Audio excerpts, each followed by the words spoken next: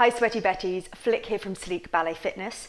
And one of the questions we get asked a lot is, how can I improve my splits? And as dancers, we have to be able to do the splits. It's kind of one of those things that just goes without saying. So I'm going to give you my top tips now on how to improve yours. Something that you can challenge yourself over these, over these next few weeks maybe, as we're all finding ourselves a little bit more time on our hands in our own houses. So I want you to come down. If you've got a mat, please put a mat down and just come to an all fours position to start with your fingers facing forward and your knees underneath your hips. Just rotate your elbows round, draw your tummy in. Then stepping one leg forward, line your knee with your ankle. I want you to rock your body weight forward to stretch through your back hip and back hip flexor through to the psoas, lengthening out through that back leg, compressing into the front hip. Draw your tummy through to your spine and rock back. Turn your toes up and see if you can lie your body gently down your thigh. So the splits front ways requires two areas of flexibility, both in the front leg and the back hip, particularly the hamstring, but also into the calf if we are flexing the foot. So we're just going to mobilize the body here in some slow movements, rocking forward and rocking back. The key thing will be our using our arms, our arm strength, rocking forward and rocking back. And then find one of those positions that feels tighter for your body. So it might be this rocking forward, it might be the back leg that feels it wants more release, or it might be that front hamstring past the back of the knee down into the calf that you feel just wants an extra breath. And wherever you are, then come to rock halfway between those positions.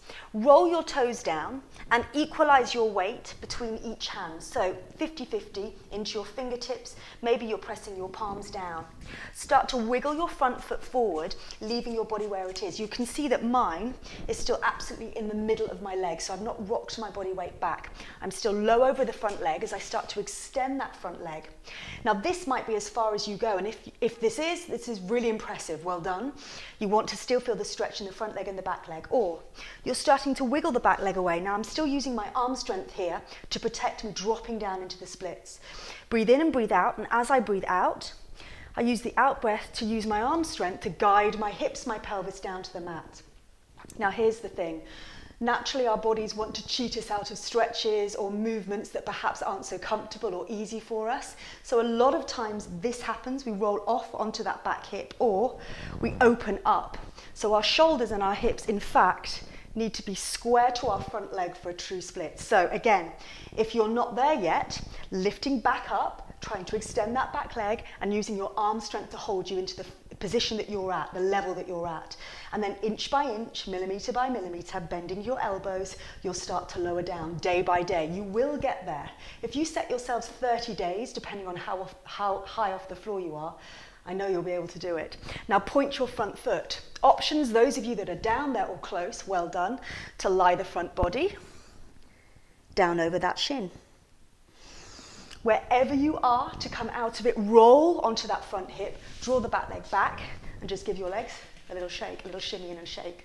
We're doing that on the other side as well, always evening ourselves out. Fingertips forward, knees under hips, and then stepping the foot forward, left leg. Now, one thing that is true is our bodies, all of our bodies, aren't equally balanced. Rock back for me. So one leg will be stronger than the other, and normally that means it'll be perhaps a little bit tighter, less flexible. Not always. So we want to create balance as dancers. We are always working both sides. We don't want an uneven body. That means that some of our technique would therefore be uneven. And as dancers, we want good technique to maintain healthy bodies, stay injury free. Okay, and the same thing, finding where feels nice to hold for you, either in that forward back leg stretch or back, getting your front leg a little bit of love. And then weight into the hands, start to walk those feet away. Left side for some of us, well, this is my left side, it might not be yours. Maybe a trickier side, it may not be. See if you can stay lifted and remember, shoulders over your hips. Breathe in, use your arm strength, gently bend your elbows, and try not to cheat yourself out of the pose. Those of you that are down there, well done, impressive, not an easy thing to do. Those of you that are getting there, keep going. Don't get frustrated. We've got all the time in the world to do this. Breathe in, breathe out.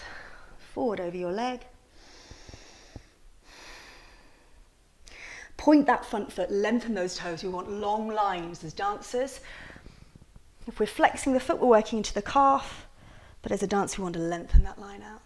to come out of it, rock onto that front hip, give yourself a little hug, a little shake, do whatever you need to do.